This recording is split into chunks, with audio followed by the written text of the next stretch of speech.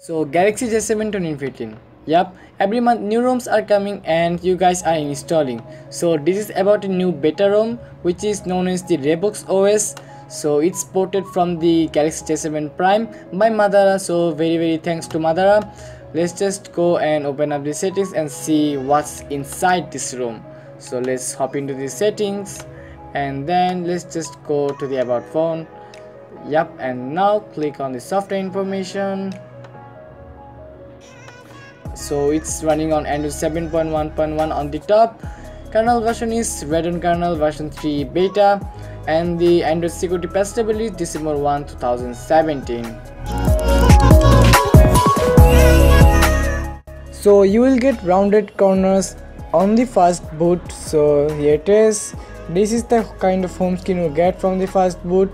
And if you want to disable the rounded corners simply just go to settings and then just open up the app section just go and open up the app section right here. And after that simply click on the three dot menu and show system applications. And scroll down scroll down scroll down until you see the Cornerfly. So this is the Cornerfly and click on that. Click on disable disable the application.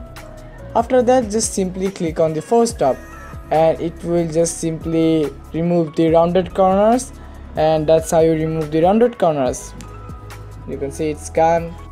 Now let's go and open up the settings and there we need to select the device maintenance because a lot of people are interested in the ram management. So let's just click on the memory and see how much we get. So we get about 300 plus above ram free which is kinda good but still if you want to get a little bit more boosted performance i suggest you to install the radeon kernel version 4 to get a little bit more better performance on this device. Like you will have about 500 above ram free. So that's pretty much good to know.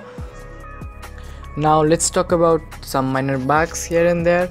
So first of all if you just swipe to the camera you will see and filter overlapping issue. So filter is not working but I will try to provide a fix in the description below so just go and flash that. And let me know in, down in the comment section below that if it works or not.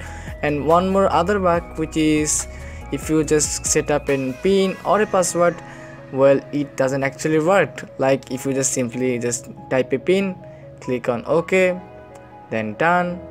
Then just simply turn off your screen. Let me show you. And just swipe up it it's literally unlocks and it doesn't require a pin. So that's kind of huge bug i think.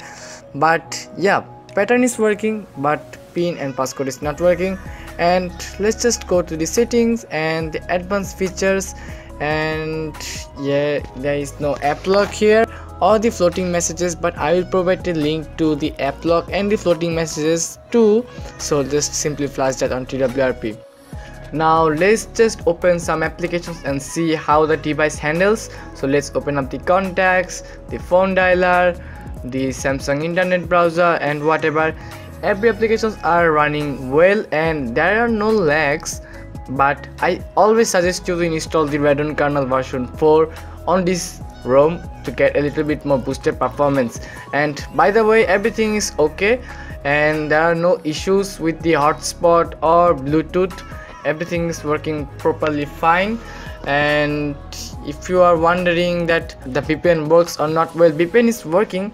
And anything more well no it's working fine. That's all I'm going to say. And yeah if you are wondering about the advanced reboot and yeah it's available. So you don't need to worry about that at all so guys that's pretty much it for this video and hope you guys enjoyed and note that guys this is just a beta preview and yeah there are some bugs here and there so please don't comment anything bad on the comment section below and this is Shoma. See you in my next video